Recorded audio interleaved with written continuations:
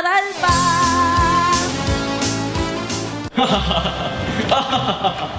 Ang ganda talaga ng bago ko imbensyon. Galing mo, Prof. Doc. Dami kong matutulungan na estudyante nito.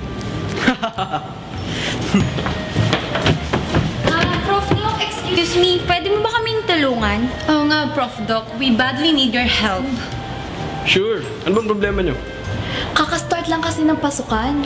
Eh, ang dami-daming estudyante ang nag invite sa amin para sumali sa mga org nila eh.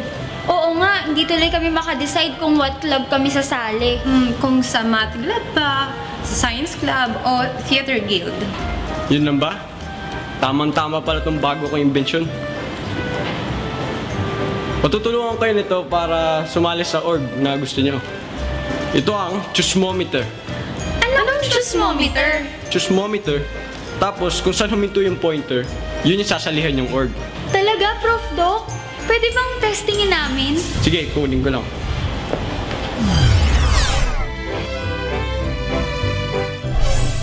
Iikot mo na to, tapos pag sumigil sa art club, bridge society, o math club, yun yung sasalihan niya. Ikaw na muna, Casey. Dali.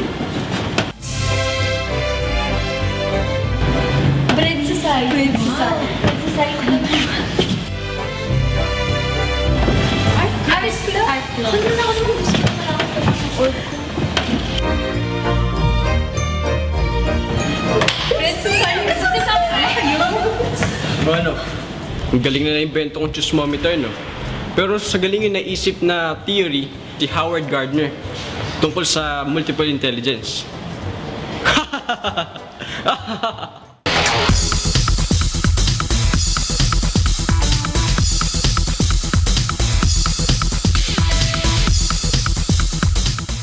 Mga classmate, excited na ba kayong sumali sa mga organizations o clubs sa school na makakatulong sa pag-enhance ng inyong mga talents at interest?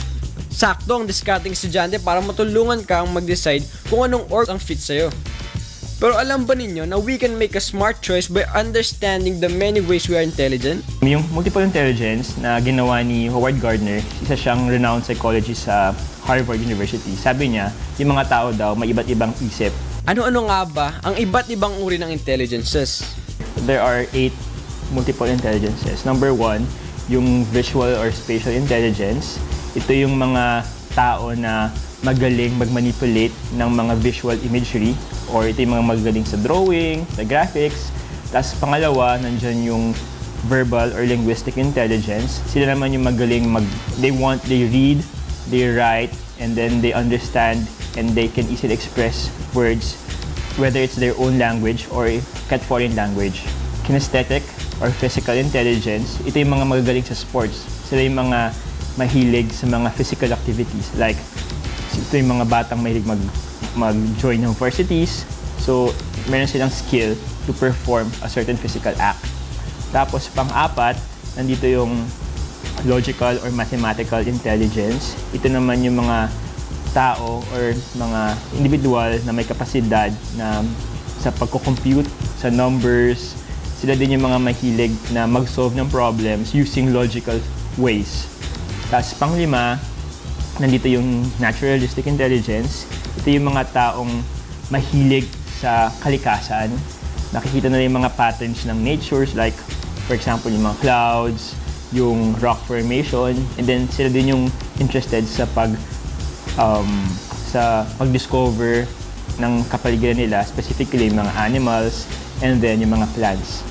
Then, pang-anim, ito yung intrapersonal intelligence. Interpersonal intelligence, ito naman yung knowing oneself. Kilala mo yung sarili mo, your, you know your emotions, you know your feelings, you know your thoughts well. So pag alam mo yung sarili mo mismo, ibig sabihin mataas ang intrapersonal intelligence mo.